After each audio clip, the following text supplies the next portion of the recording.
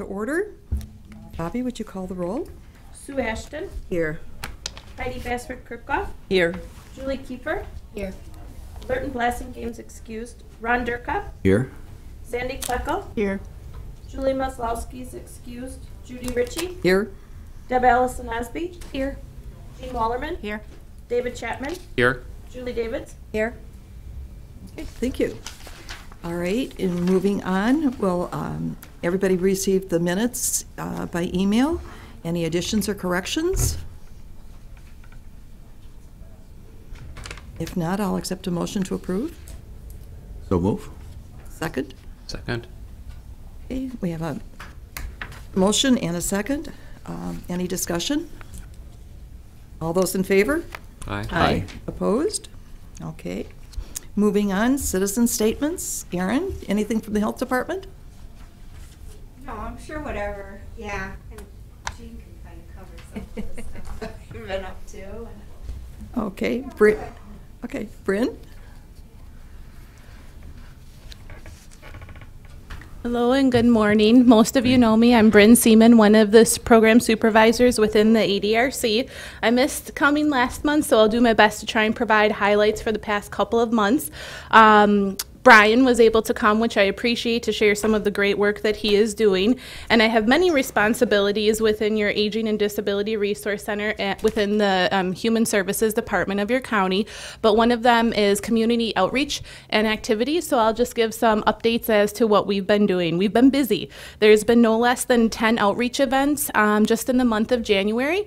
We internally looked at some of our processes for customers coming in, and we called it a meet and greet. Uh, so it was an opportunity for admin staff, reception staff, and ADRC staff to come together, just improve processes, review processes, and hopefully make sure that we're getting customers who come to the Human Services Department and then those specifically looking for the ADRC are able to get in touch with somebody. Um, we have a wonderful information and assistance staff, Melissa, who has a great interest in um, power of attorney uh, paperwork and documentation and advocacy. And she was able to partner with our intern and the Oshkosh Senior Center, and she hosted a workshop for healthcare power of attorney. It was successful. Um, people were able to bring in their information ahead of time, naming agents who they felt might be appropriate. So she was able to answer questions, um, witness the documents, and then also get the information notarized. So um, if we're able to pull that off again, it was a lot of manpower, but we're certainly looking for a new opportunity to do that. Uh, we continue our employee business efforts. We were a part of the 2020 Business Expo, which was successful, um, and we've been able to connect as a result with different businesses and hopefully being a part of their employee resource structure. Um, so, as you know, many of those folks who are working are also caring for aging parents or maybe an aging sibling, as well as taking care of their children and grandchildren. And most are not very familiar with the ADRC. I had done one presentation where the questions had ranged anywhere from when are you eligible for Medicare to what's the difference between home delivered meals and mom's meals. Um, so just trying to really navigate um, the long term care system and make sure that we're getting out to those employees and employee bases. Um, in the month of January, we started our 2020 Medicare free 2020 Welcome to Medicare presentations. Julie and Joan, who are our elderly benefits specialists, are amazing.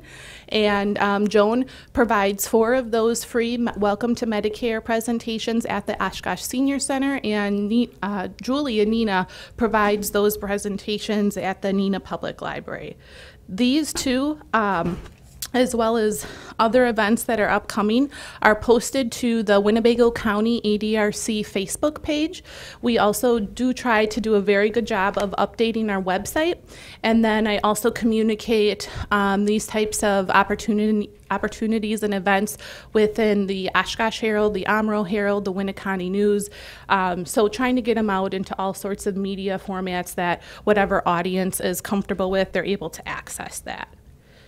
We have participated in the Warming Shelters Community Resource Fair, um, a coffee talk speaker series, and then we had a really successful opportunity to be a part of the Eat and Greet at the Oshkosh Senior Center. We had one of our adult protective service specialists, Linda, who was there in the first go round in January and was um, kind of glowing about the excitement of people who had a lot of questions, took all of our packets of POA documentation. So clearly, when we go back next time, we're going to make sure we have more. So it just seemed to be a very successful event, and we appreciate that opportunity. Um, in the month of February, we worked with um, Advocap, who's one of our partners, and really hats off to them. They had thought of this idea to promote their meal site, and they focused on Menasha Meal Site in the month of February and worked with their food vendor to have and host a Valentine's Day special luncheon. It was beautifully laid out, wonderful food, very well attended, over 40 participants. So we're looking to do that hopefully again in the spring. And those meal sites are those opportunities that at low cost people can um, have a social network, a social structure, can maybe learn some information for um, presenters that might be available, and really get a nutritious meal. So we're trying to host and um, really um, have some exciting opportunities for those meal sites. If you have any ideas, we are certainly open to feedback at any time on um, potential ideas. Um, we also have a couple of things that, with regard to our diversity outreach efforts, um, almost all of our ADRC brochures are now available in um, Spanish and Hmong and other languages for individuals who maybe don't have English as their first language. And we're doing more promotion and outreach efforts in getting out of the ADRC and doing less of the expectation of folks coming to us. So we are also um, hoping to be a part of the Unity and Community event, which is April 5th. Um, so that's one of the diversity um, activities we're a part of. And then I think lastly, what's important for you guys to know is that I just recently joined Winnebago County's Complete Count Committee for the 2020 census. It's headed by a very enthusiastic um, employee from the Department of Health Services, and um, we have the electronic material that you'll also see posted on our Facebook page, also on our site. Um, but we're hoping to get our hot little hands on some flyers as well so we can start to distribute that information. It's fact sheets that are specific to individuals with disabilities, the importance of completing the census census, questions they may have, how they can complete it. And then the other fact sheet is related to older adults. And again, the importance of doing that, how they might also complete the census. Um, uh, we also have new pens, so I brought pens. We had some um, opportunity within the ADRC to jazz up some of our marketing and material items, so I thought what a great opportunity to just share some of our new stuff with you guys. So if there's any questions, you're welcome to ask me or follow up from the meeting, and I'll do my very best to answer anything. No questions? Thank you. Thank you. And please keep coming back because you're, you've got the gems that get us through month to month to month. Oh, very- Really updating people in the community. Thank you. You got it. Thank you. And in the back, did you have anything? Okay, thank you. All right, then we will move on to uh, new business. And Julie, your PowerPoint, okay?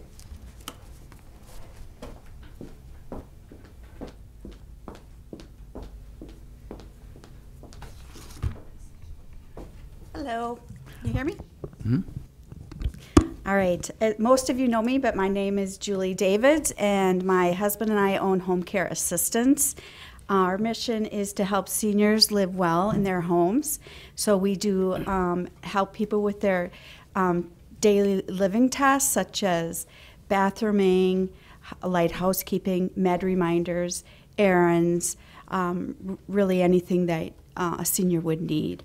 Um, besides doing that, we are also passionate about um, our clients that have cognitive issues or memory loss, and that's what I'm here today um, to talk to you about.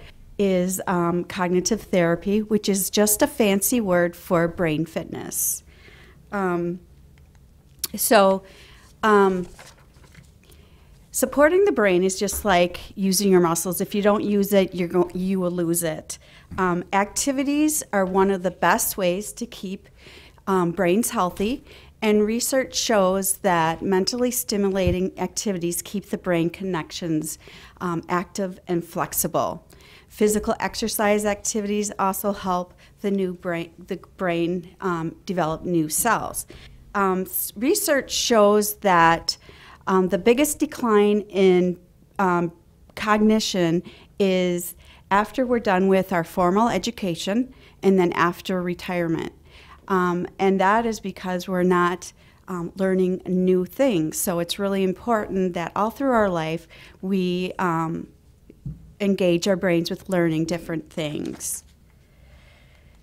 So, um, brain, um, so with um, cognitive therapy, in order to do something that engages your brain, there's three things that you need to do. Um, the activity needs to be new to you.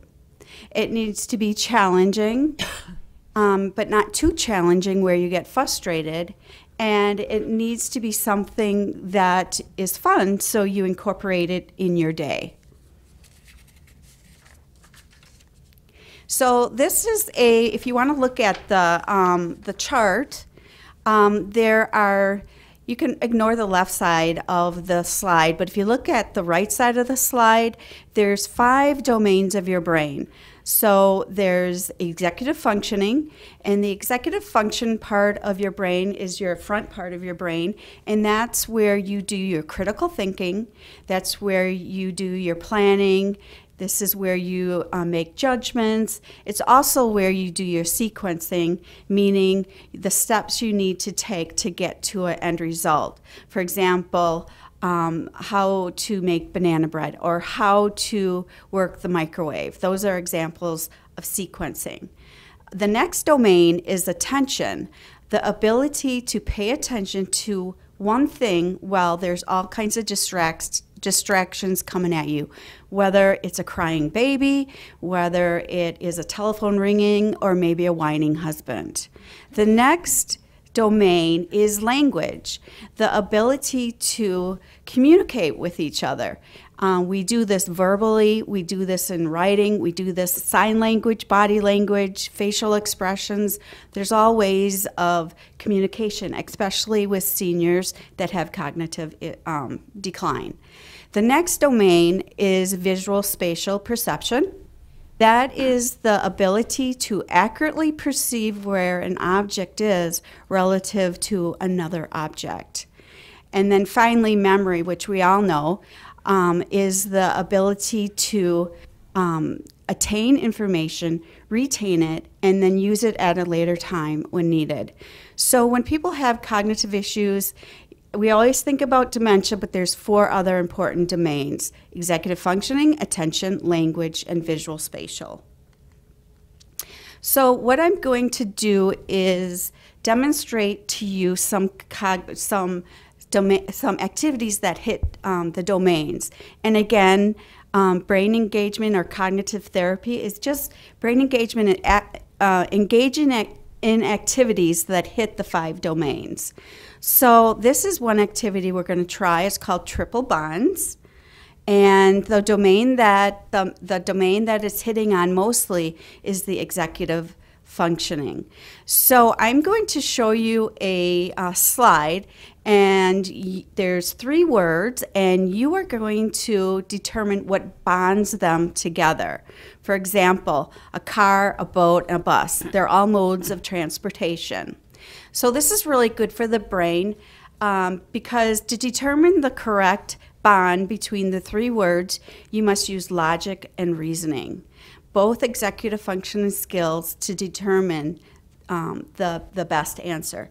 So, for example, um, here's three words. Can you guys guess what the common bond is? If you can just yell it out, that's that's great. So the words are boardwalk, waterworks, and jail. What is the common bond there? Yes, um, spaces in Monopoly. The next one is Joe, Manta- Joe Montana, George Washington, Indiana Jones. What do those three things have in common?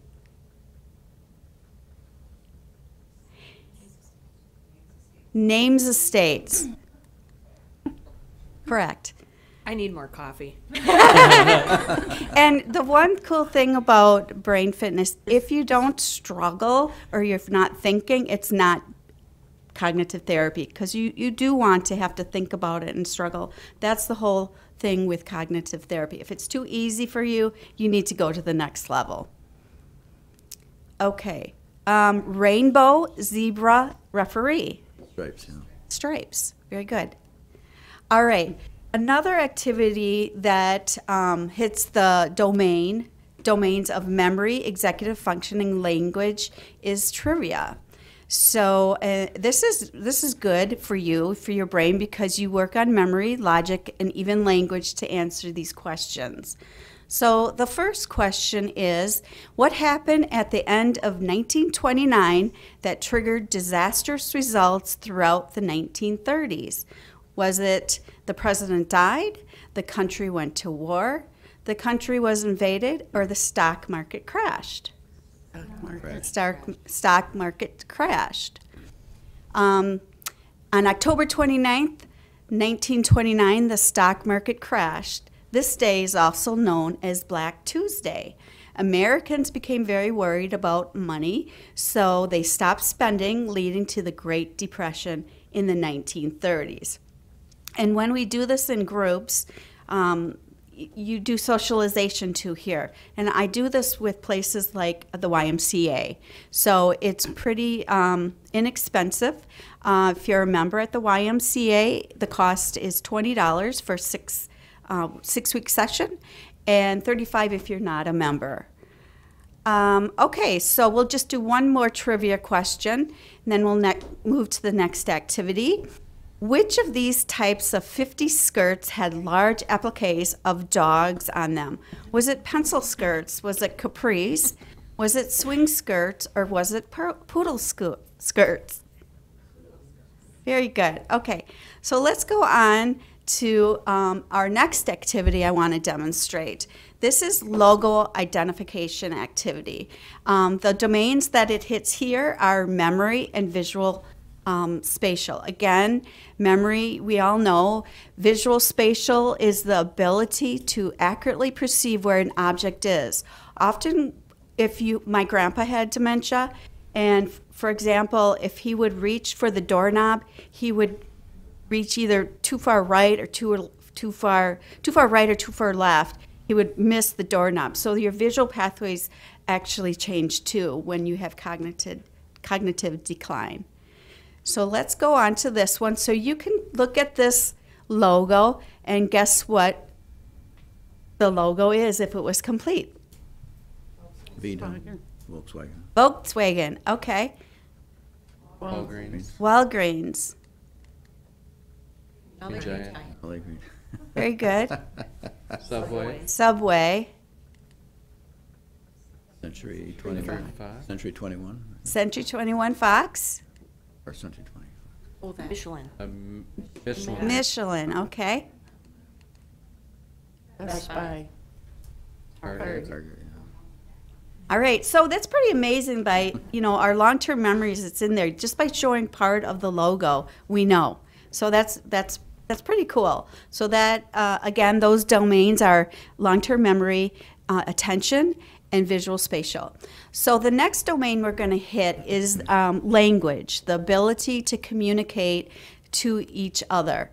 So you're going to look at this sentence, and the words are all scrambled, and you, when you rearrange the words, it makes sense. So, as a group, what is this sentence? The Clouds clouds cover the the sky. sky. The clouds covered the sky. Very good. The next one is tea hot, the two was drink two.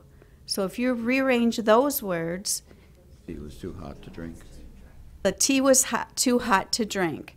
This next one, you can sort it out two different ways. Won't stop the phone ringing. What could that be? Phone won't Phone stop won't ringing. stop ringing. I heard the, the phone won't stop ringing. And is there another one you can see? Stop the phone. Oh, I want- So we have the phone won't stop Ringing ringing won't stop. and the ringing phone won't stop. So you get that. So the next activity, um, taking away activity, this um, focuses on the attention domain. Um, so it's really important. You always hear about how people multitask and people are proud of being able to multitask, but really we shouldn't be multitasking, especially when we, we get older. You should just do one thing at a time. um, so let's look at this picture. And I'm going to give you about five seconds to look at this picture, and then I'm going to show a different picture, and you're going to tell me what was taken out of the slide. All right, so let's see um, what was taken out. Three things. Can anyone guess? Little, little stones or whatever they were. The stones, Yeah. the stapler. One more thing. Oh. In the What was it? Calculator, calculator, no? phone. Well, let's see what it was. It was the scissors, the stones, and the Oh, look at staple. So that's fun activity. There was no one. And these activities are very simple, this one particularly, but pretty much anyone could do this. If you had um, a parent that had dementia, maybe you would just put two things out there. All right, the next activity is called Magnify Activity. And um, this is great because um, recalling what part of a familiar object looks like exercises your visual, spatial perception, as well as memory and attention skills. So, if um, this is um, magnified picture, but if you saw it at its um, real size, I guess, what would it be? Sunflower. Sunflower, very good. Umbrella, Umbrella, Bicycle. tire. very good. Scissors. The first time I sh- I thought that was like a man, and that was his belly button with his legs. um, Hammerhead. hammer. All right, so that goes into that. Now, visual um, puzzle activity. This also taps into the visual domain. So this is a line drawing, and the pieces are rotated of one object. And if you put all the pieces together, what is it a picture of? Do you think? A guitar. Okay, very good. Burger. Hamburger. Hamburger. Horse. All right, we're not going to do name that tune. We don't have time for that, but that's really fun, especially for seniors. Um, music is magical for people who have um, um, cognition. Um, that was the very last thing um, my grandpa um, lost. He didn't remember my name. He didn't remember he didn't remember uh, where he was five minutes ago, but he could mimic the last song that he heard, and that's that's pretty incredible. So we really don't understand why music is so magical, but it really is. So just know that. So in summary, um, cognitive therapy is really a fancy word for brain engagement, and it hits the five domains: executive function, attention, language, visual, spatial, and memory. So you want to do activities that tap into all of those things, and you want to pick something. Whatever you choose, I really encourage you guys to do something every day, five to 15 minutes. It should be new to you. It should be um, challenging, but not too challenging where you get frustrated, or too easy that it's no, it's it it's too easy, and um, it needs to be fun, so you incorporate it. For example, my cognitive therapy, I'm learning how to um, use my Canon camera how to make black and white pictures, how to make, uh, do a movie, how to pull different colors out of the pictures, and that sort of thing. So um, it's really important that we, um, all ages, engage our brains. And the YMCA is a, YMCA is a great place um, to um, check this out. It's very inexpensive. And the next session is April 14th, um, ending on May 19th on Tuesdays from 12:15 to 1:15. So that's just a little bit about um, brain engagement. Any comments or questions?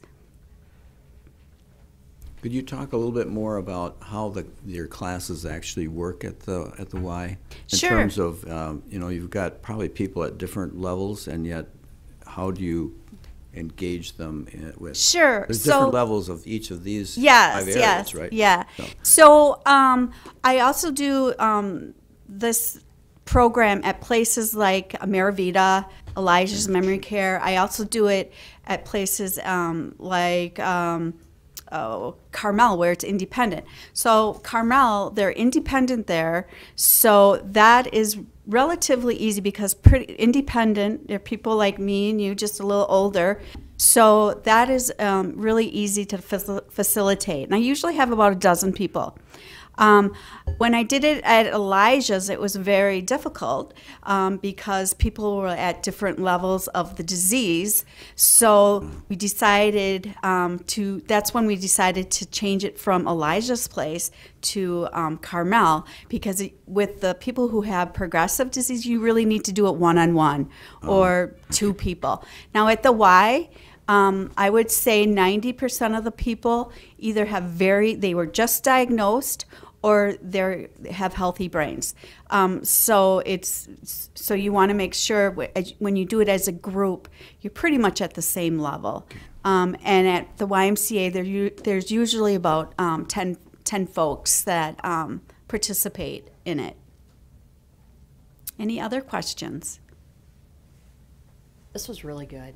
Yeah. Oh, great! Very Thank you. I'm glad you liked it. Thank you. Um, Deb, as you notice, we're making use of our members with all of their expertise to do our presentations also. It's fantastic. So just the changes that we've had on this committee over the last few years is amazing. It is. I literally was just, just thinking the very same thing. It's wonderful. Good. Okay, our other speaker, Ann Schaefer, is not able to make it today. So, um, Aaron, would you talk to, just a second, just turn around and ask Jake to play the video on the census. Um, We're trying to incorporate as much visual in our meetings as we can. And uh, rather than just us talking about certain things, uh, there's a great video out uh, talking about the census and the importance of it. So we're going to play that in just a second. Oops, Jake.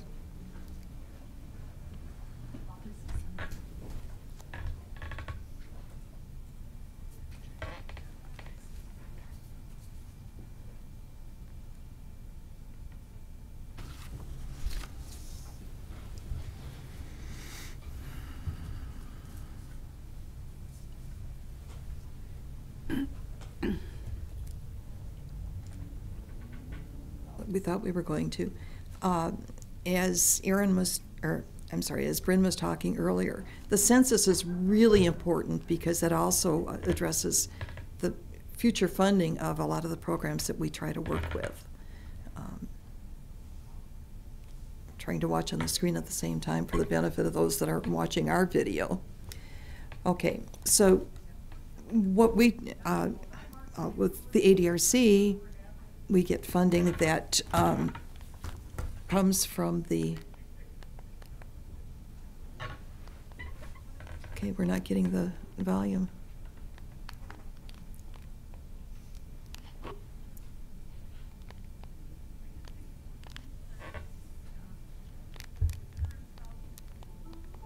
Here we go. We start it over? There we go. Okay, there you go. That sounds good. Every 10 years, the census records everyone living in this country. It's written in the Constitution and comes in a questionnaire that counts everyone who lives at your address on April 1st. The data can be used to inform funding for services like fire stations, schools, clinics, and representation that affect your community. How will 2020 census data be used? Where there are more people, there are more needs for public services. That's why the census is used by the government to inform funding decisions each year. But that's not all. It's also used by nonprofits to inform services, by businesses to create jobs, and even by students for school projects. Understanding how the population changes helps us shape communities across the country for the better. How does the 2020 census affect representation? There are 435 seats in the House of Representatives. These get distributed to the 50 states by population, and an accurate census response helps your state get the right amount of seats. States with smaller populations get at least one, while states with larger populations might get more.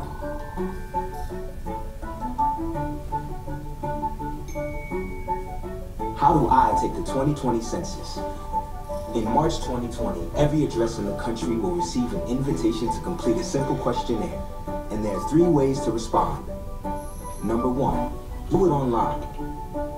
Number two, call by phone. Number three, send it by mail. For those who don't respond, a census taker from your community will follow up and assist you. Is my 2020 census data safe? Sending your census response, your personal information is kept safe. By law, it can't be shared with any other government agency, law enforcement, or landlord. No one. So take your 2020 census with peace of mind. Shape your future. Start here. Visit 2020census.gov. When we saw that earlier, we thought that was a great way of explaining the importance rather than us just talking about it. Yeah. So as we find more of those, we're going to be bringing those, those types of things to the meetings. Um, We'll move on to old business, and Lurton is not here, but uh, Julie, do you have anything on strengthening our partnership with neighborhood associations and Sure, other I can, partners? I can make a couple announcements for um, Healthy Neighborhoods. Um, They did receive enough funding to get a black block party trailer, which will be available to neighborhood associations when they want to have a block party. Um, They're currently rehabbing a house on Frankfurt, which should be done in the next couple of months. And then there will be a couple of events this summer, but you can um, mark your calendars now for July 7th, which is um, one of the Tuesday night free concerts at the Leach. And that will be Neighborhood Night at the Leach. Okay. And as we get closer and you have any posters or anything, make sure you bring them so that we can post them. Sure. Be really good. Anybody have any questions for Julie? Okay. Uh, Moving on, improving access to affordable transportation and delivery services for seniors. Uh, I have a couple of things here. Um, I'll pass this around. There is a new taxi service in the city. They just got their license, and I don't know a lot about it, but um, was sent a bunch of information. Star Transportation, and they're covering a fair area. And I see Deb. Um, They advertise that they've got 24-hour taxi service, that they also have non-emergency medical transport. And those are areas that we hear a lot of need for, and not necessarily being able to, to get it in a, but people feel as a timely fashion, and that's always the, your own personal perspective in there. And then they have other services besides.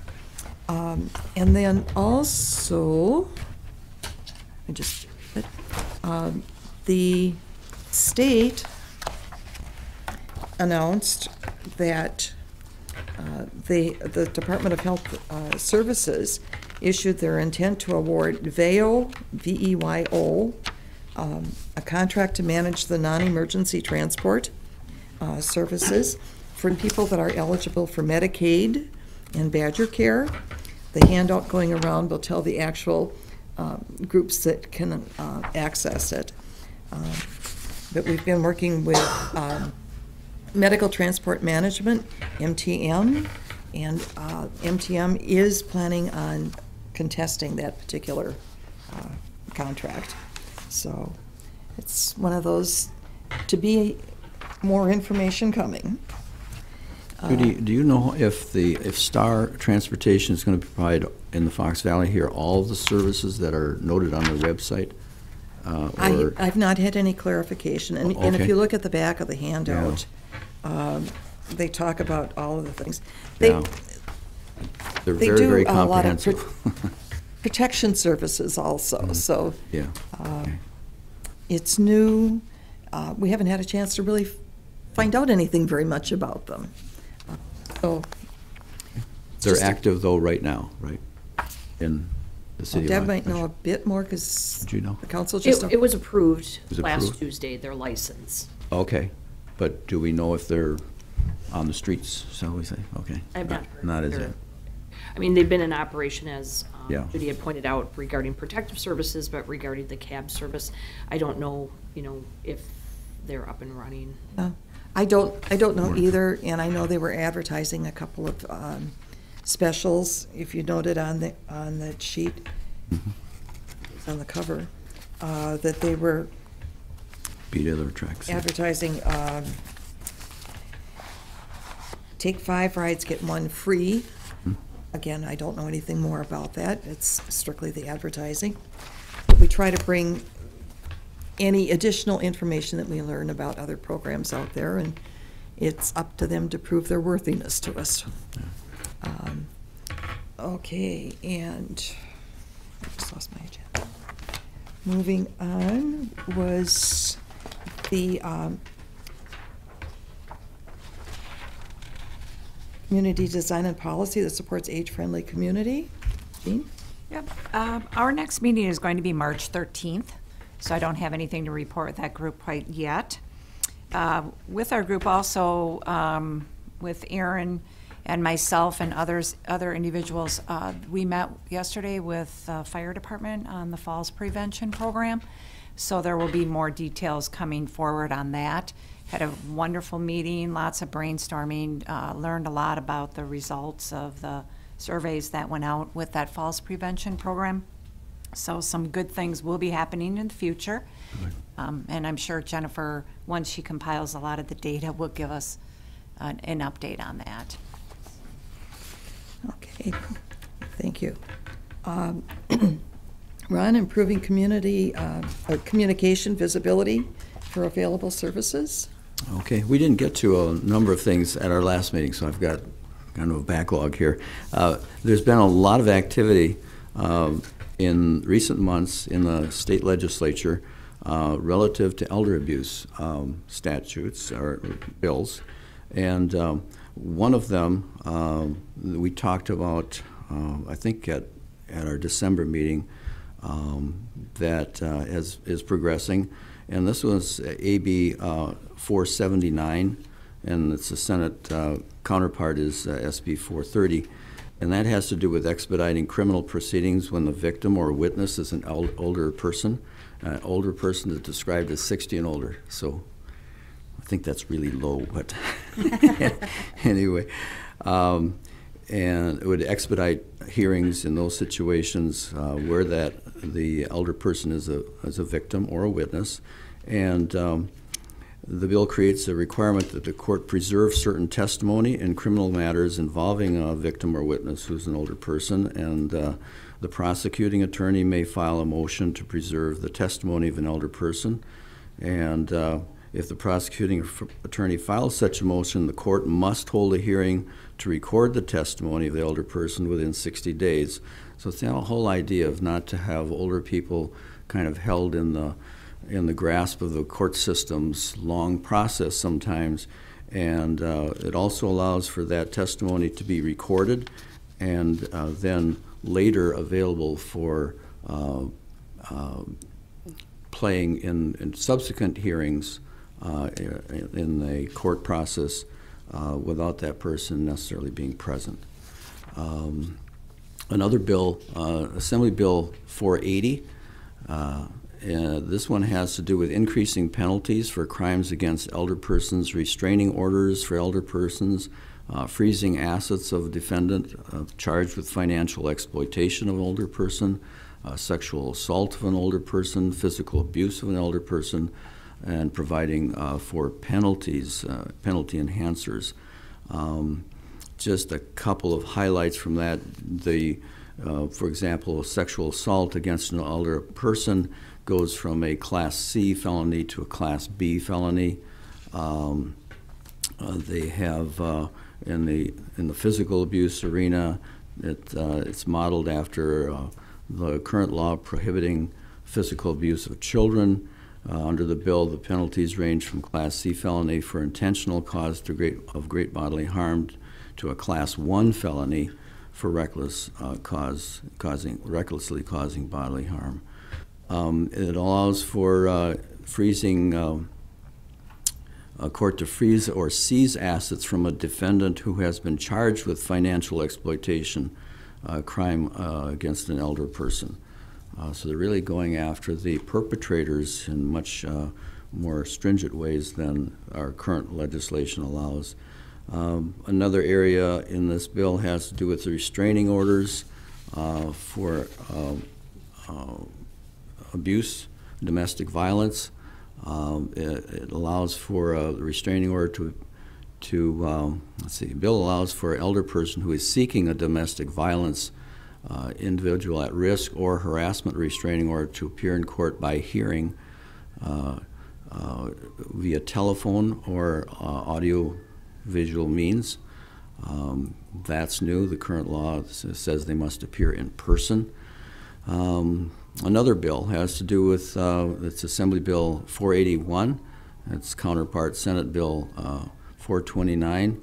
This has to do with financial exploitation of elder adults, um, and uh, it allows financial service providers, um, described as uh, financial institutions, mortgage bankers, brokers, other types of lenders, check cashing services, uh, to um, um, let's see, if they reasonably suspect that the elder, that the financial exploitation of an, of an adult or an individual who is 60 and older is occurring or has been attempted, the service provider may but is not required to refuse or delay a financial transaction on an account of the vulnerable adult or on which the vulnerable adult is a beneficiary or on an account of a person suspected of per- perpetrating financial exploitation. So um, the effort there is to uh, even go after the resources of the perpetrator when there's uh, financial exploitation being uh, pursued. Um, another of there's the, of the four bills uh, is uh, Assembly Bill 482. Uh, Senate bill co- counterpart is 428. Um, and this has to do with uh, financial ex- exploitation where security accounts uh, or violations of the Wisconsin Uniform Securities Law are grant, uh, grants rulemaking authority and providing for penalties for violations there. And it's pretty much focused on the uh, securities industry professionals providing uh, to the Department of Financial Institutions, Adult Protective Service agencies, or other persons notice of suspected financial exploitation of certain vulnerable adults and allows broker dealers and investment advisors to temporarily delay transactions or disbursements from the accounts of vulnerable adults when financial exploitation of a vulnerable adult is suspected, and it creates penalties, etc. And uh, I'll I'll give the details to Bobby so she can have them uh, posted with our uh, our minutes once approved. But uh, these uh, these bills are progressing uh, through the legislature. I think there's one more major floor session. I believe it's March 24th. Uh, let's see, yeah, March 24th through the 26th, and all of these bills are scheduled, uh, are awaiting scheduling, and the hope is that they'll they'll um, be brought forward at that time and uh, be passed.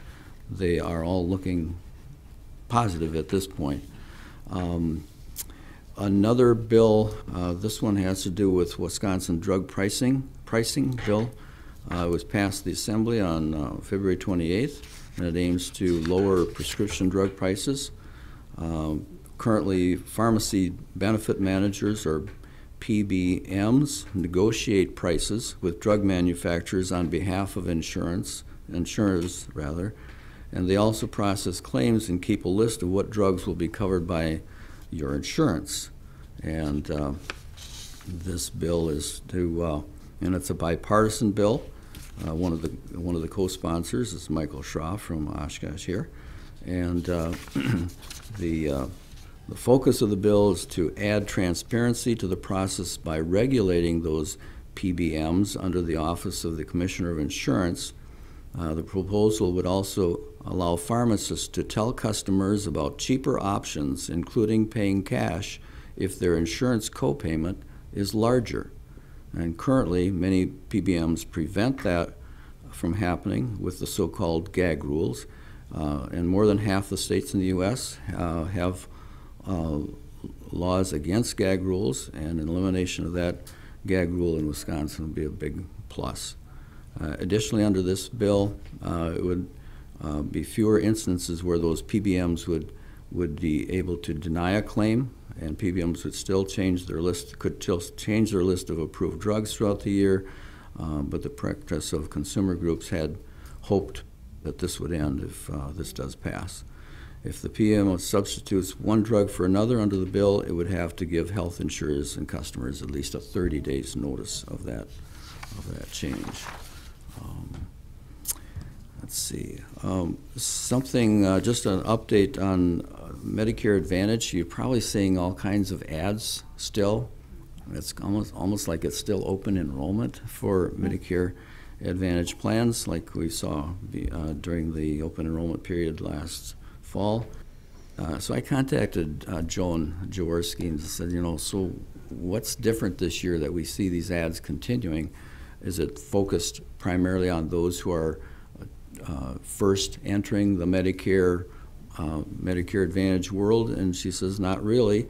Uh, she says you're still seeing advertising for Advantage plans because in 2019, CMS, that's the agency that handles Medicare and Medicaid um, programs, decided to add another open enrollment period for people who have uh, a Medicare uh, Advantage plan.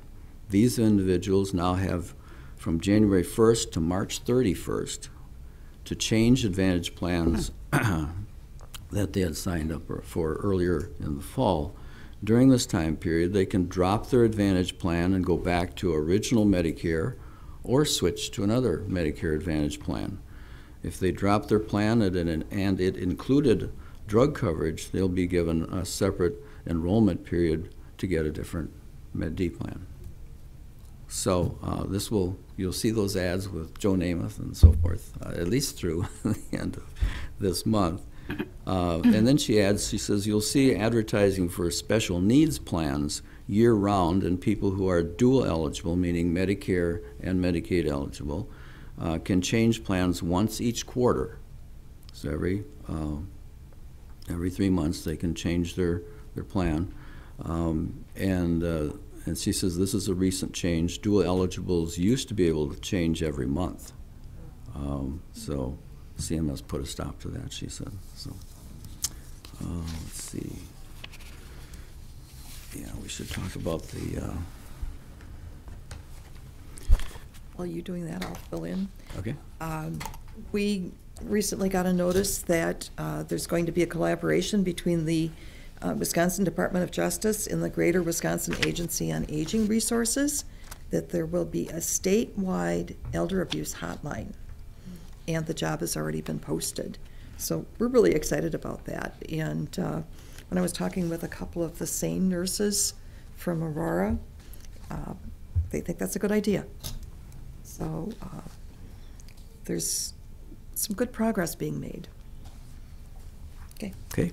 Uh, uh, just a bit on uh, the 2020 poverty guidelines. These are the federal poverty guidelines and also SSI and spousal impoverishment standards. I could just pass those around if you would.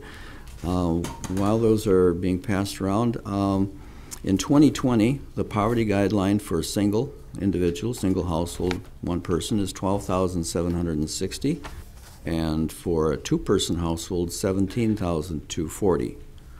And uh, these new guidelines are effective for purposes of determining Medicaid and other federal program eligibility uh, as of January 24th.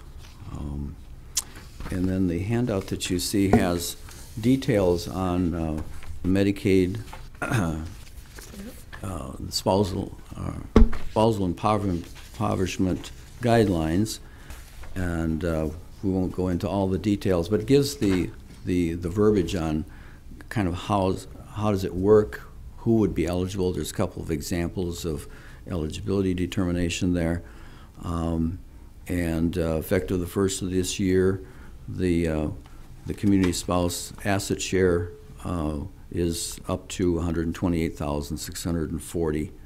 And uh, if it's, the person has less than that, it's, it's becomes half, if the couple has half of that. The whole idea, again, of spousal impoverishment legislation was to allow the, the, the community spouse, the person who's not in the nursing home, not to be impoverished uh, as they once were prior to this legislation back in the 90s, um, to allow them to be able to maintain a, a homestead and, and put a new roof on when they needed to and a new furnace when that needed, was needed and so forth.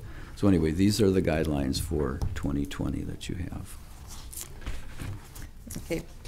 Um, As we talk about available services to seniors, one of the things that we don't think about readily, uh, but should be, smoke alarms. And we know that the fire department has got a program that installs smoke alarms. Uh, Also, Red Cross has an initiative called Sound the Alarm, and that's been since 2014. And they've been installing them across the country. Um, Last year, uh, there was a, a couple that had special needs. They were both deaf. And so the normal smoke alarms would not meet their purpose and, or their need.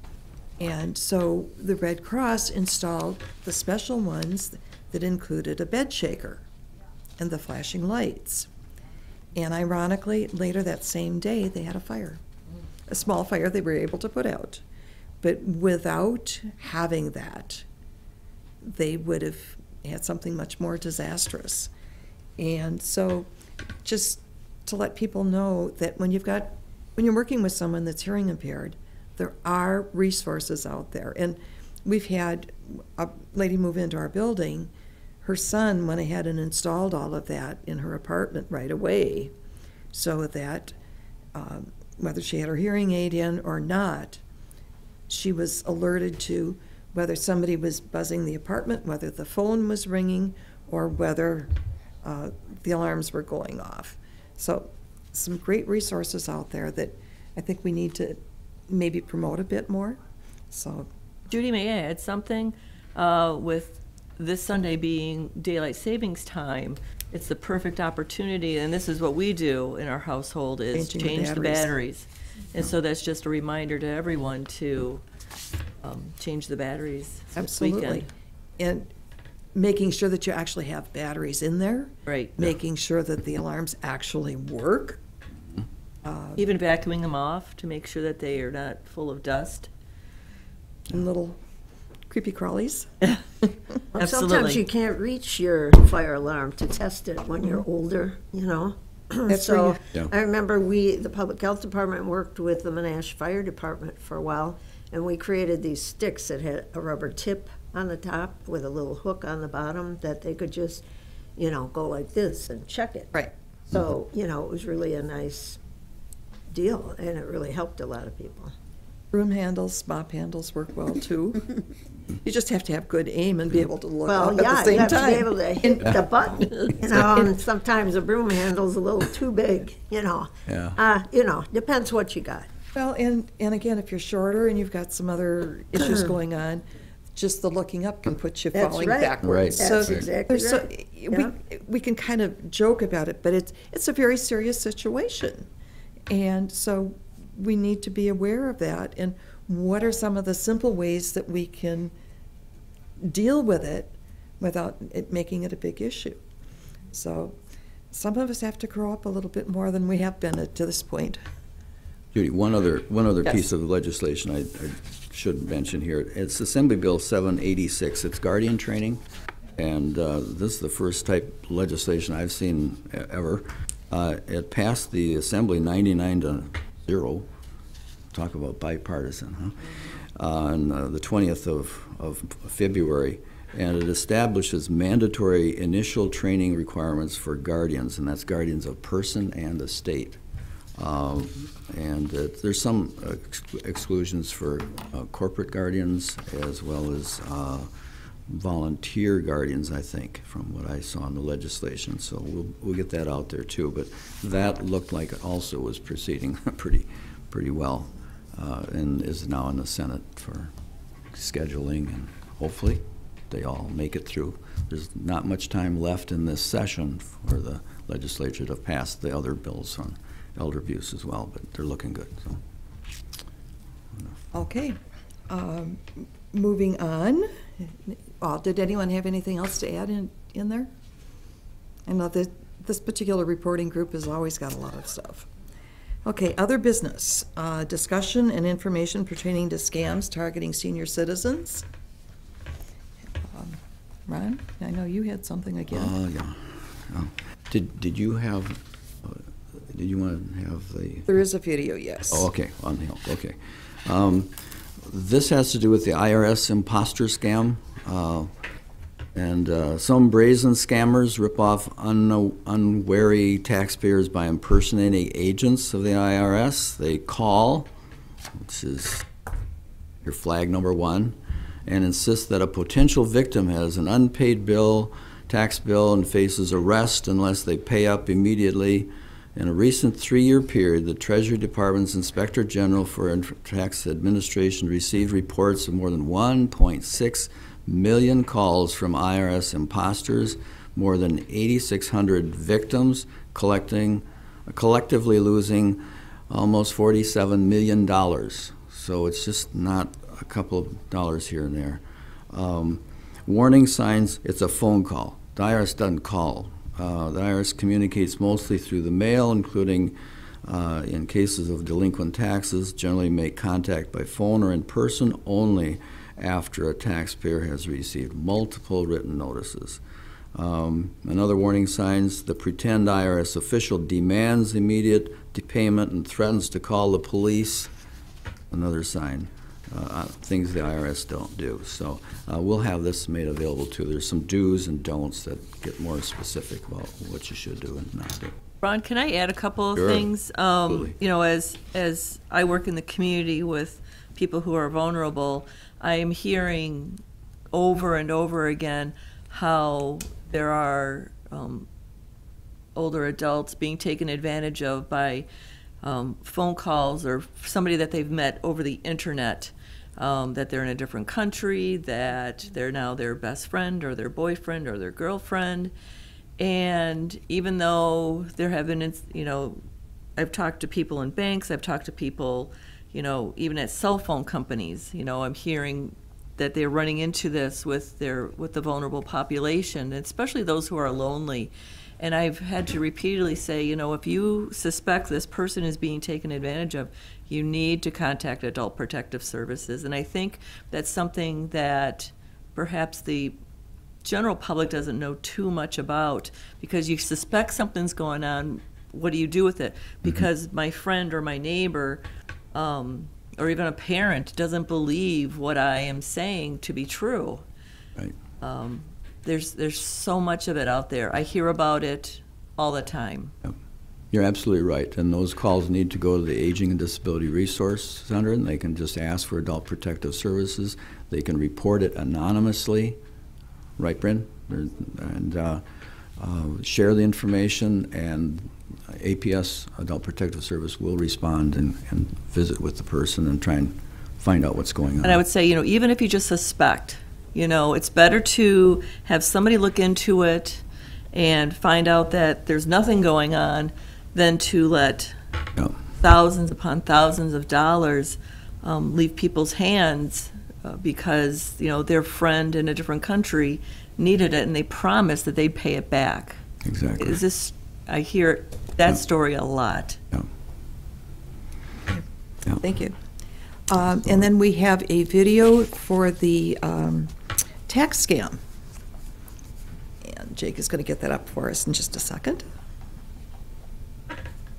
Hi, I'm Monica, and I work for the Internal Revenue Service. Scammers are looking for ways to steal your money year round.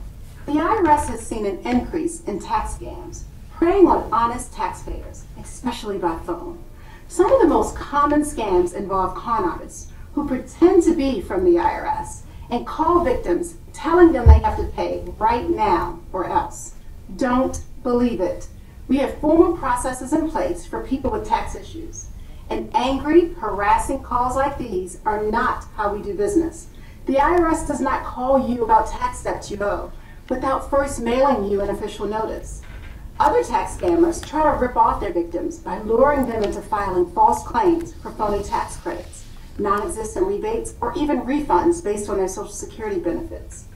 These scammers sometimes use flyers, brochures, advertising free money from the IRS with little or no documentation required.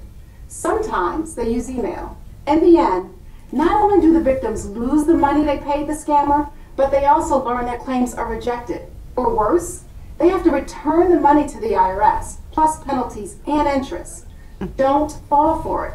Remember, if it sounds too good to be true, it probably is. To learn more about tax scams, go to our website, irs.gov, and type scam in the search field. Thanks, Jack.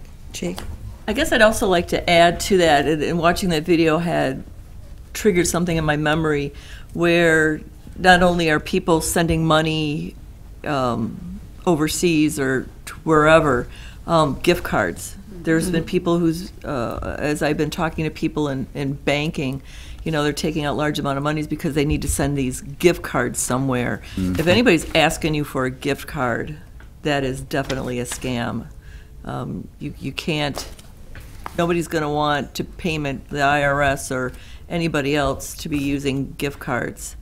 Exactly. I wish the businesses that sell the gift cards would be more diligent in regards to when they see somebody on a repetitive basis purchasing them to be, you know, red flagging. Um, but they're making money, so they're not. And once they've given over the, the PIN number or whatever on, the- from the card, the money is gone. Immediately. Just that fast. Yeah. Yeah. Um, Judy, I have one more piece of information relative to the, the whole business of the uh, uh, spoofing, ID theft, and that is uh, Senate Bill uh, 132. They're actually trying to uh, close the, the whole, the loop here on those who would be trying the spoofing. Uh, There's a bill also that has gotten positive traction with, in the legislature. This bill prohibits caller identification or spoofing. Under the bill, no person may knowingly transmit misleading or inaccurate caller ID information with the intent to defraud, cause harm, or wrongfully obtain anything of value. Um, The bill prohibits a telephone solicitor from blocking the transmission of caller ID information. A person who violates any of these prohibit, prohibition, prohibitions is subject to a civil forfeiture of up to $10,000. And it also provides the telecommunications provider may block uh, calls so that they do not reach the called party if the originating number is not valid, is not allocated to that provider, or is confirmed by the provider to be unused. So hopefully that will, if this were to pass and be effective bill, that is, it would uh, cut down on the spoofing options that exist today. So, um, who knows? There's hope. Anyone else have anything on scams? If not, um, I'd sort of like to end the meeting on some good news. Uh, The Oshkosh Police Department has another use for the jail, and it's called the Community Crisis Closet. Kate Mann is uh, overseeing it. They got some uh, press with uh, Channel 5 uh, earlier in February, and oftentimes the officers are out on patrol, they're responding to an accident or another incident, or just a variety of reasons. And they're one on one with someone in really in need. And so they now have, with that closet, lots of hats, gloves, mittens, things like that. If an officer stops someone with children not in car seats when they should be, there are actually car seats that are available free of charge to those those individuals. So it's a really great uh, resource that meets the immediate need and gives time to um, deal with that immediate need and still have the referrals out to the appropriate agencies, be it the ADRC or other uh, areas. So um, I, I think it's something that's really, really good.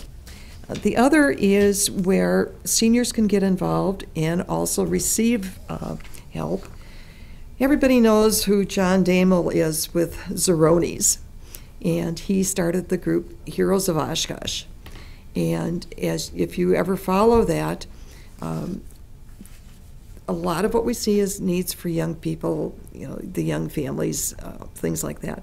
But there's a lot of people with disabilities and elders who are looking for snow shoveling or lawn care or whatever. So it's a winning situation for everybody. Somebody that wants to volunteer for, somebody that has a, a special need.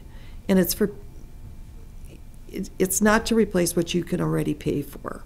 It's for the, fo- the folks that are really kind of falling through the cracks. So um, there was actually a very good article in the um, Catholic, the Compass, um, and uh, so I'll be sharing that with our committee as a whole piece. And I just passed around the uh, crisis closet. So we'd like to not only talk about what there are for the general resources, but what's the good in the community, because there is a lot. And I think sometimes we hear too much about the bad and not what's going on otherwise. And both of these uh, programs also give a, a purpose and a meaning for elders to still be active in the community. So um, that's why I brought it to the group. Um, also, on next Monday, the 9th, is State of the City. We will have a table there, and not our full library of materials out, but we will have some. And everyone from our committee is encouraged to attend.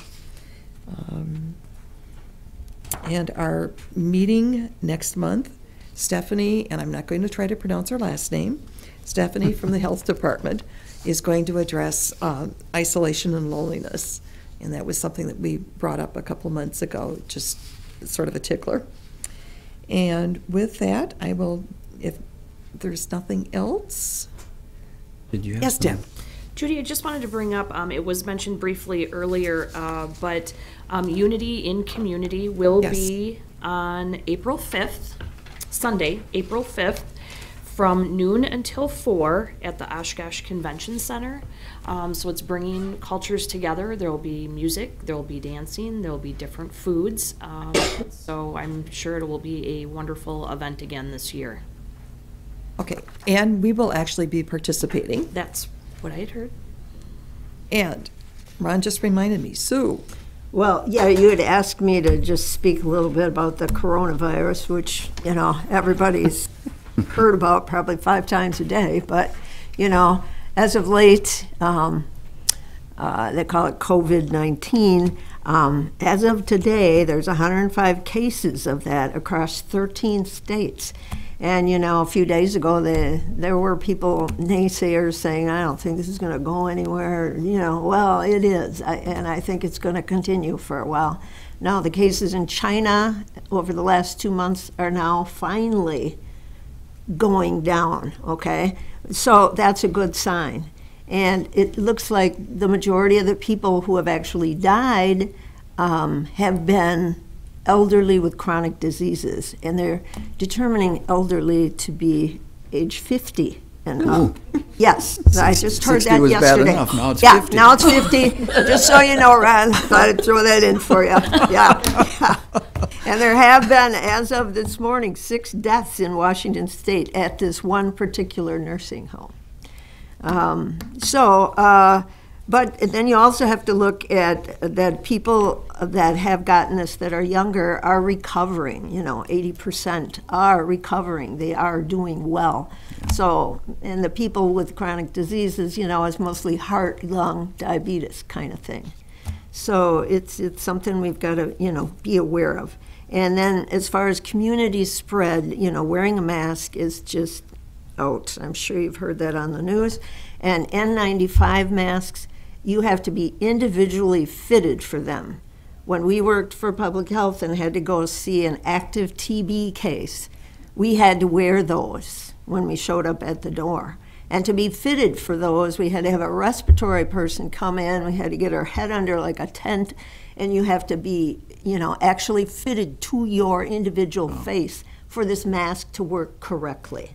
And if everybody in the United States buys up all these masks and then people are sick, the health providers can't get a mask to protect them so that they can help the sick person. You know, it's just like wild.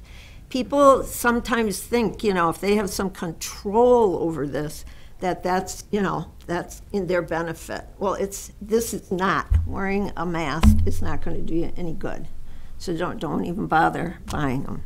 But what will do you good is washing hands and washing, Washing hands for 20 seconds with regular soap. You don't need antibacterial soap. Regular soap works just as well. And for 20 seconds, you actually have to scrub and you have to dry your hands well after you wash them. Keep your hands away from your face after you wash your hands. And if you are sick, stay home or have your kids stay home. Don't get out there and promote this. Um, and then the other thing you have to commit to is cleaning off surfaces like doorknobs, your computer keyboard, your phone, things that you, okay, you know, uh, elevator buttons. This, this kind of stuff is loaded, you know, and shaking hands. Hey, you know, I know at church some people are doing fist bumps. No, I mean, they are not shaking hands. I, I don't really think it's a great idea. We had, we promoted that in public health once for churches not to have, you know, during flu season. And a lot of them just, you know, poo-pooed that. They went, no, we're not, we're, we're not going to get involved with Well, that. that was discussed in depth at our church this past Sunday. Okay, well, good for your church, Judy. I give them credit. Have Okay, sanitizer in the. yeah. So, um, Giving you communion. There you go. oh, well, I don't, I don't, you know, in our church, we do our, yeah, well, I don't know, there's issues here and issues there. You have to kind of figure it out for yourself. The other thing is, if you haven't gotten a flu shot, you could still get a flu shot because we have had 16,000 people died last year from the flu and 20 million were infected. So that's huge. That's huge. And the problem being, we've got the same kind of symptoms that you get cough, you know, you're feeling feverish, the same kind of symptoms. How do you differentiate? It's kind of hard. Yeah. It's not easy. And now um, the state of Wisconsin at Madison and the city of Milwaukee can do their own tests for, you know, COVID-19, whereas before they had to send them to the CDC, get the results, bring them back. So that will help, and that's going to increase, you know. So, so these are all good things that are happening. So I just wanted to share some of that for you. Thank you. Okay, so uh, with that, um, I will take a motion for adjournment. Second. Go ahead. If you go ahead. I won't even ask for discussion. All those in favor? Aye. Meeting adjourned.